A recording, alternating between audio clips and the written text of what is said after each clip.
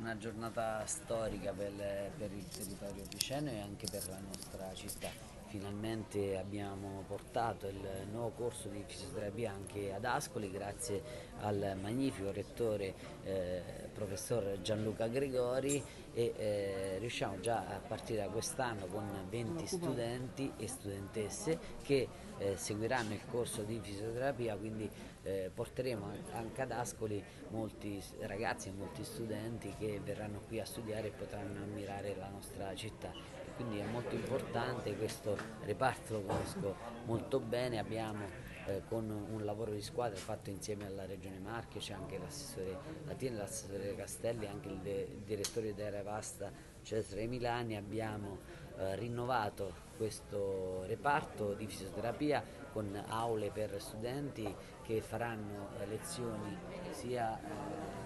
frontali che laboratori e, e, pratici proprio nel, negli ambulatori